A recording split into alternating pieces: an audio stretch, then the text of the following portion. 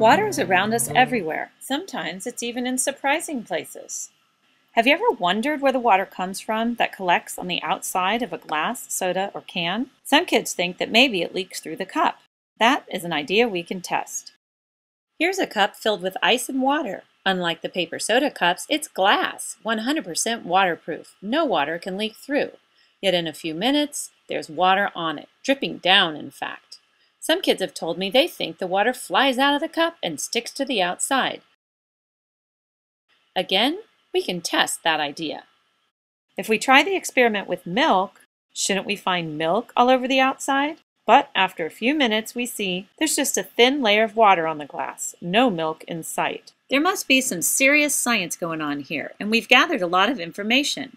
But to learn more, we need to think about another property all these cups have in common. How about they're all cold? So what if we try an experiment with a cold glass that is empty?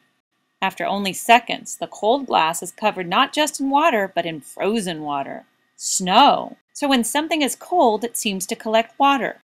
Where does that water come from? Well, the only thing around it surrounding it in fact.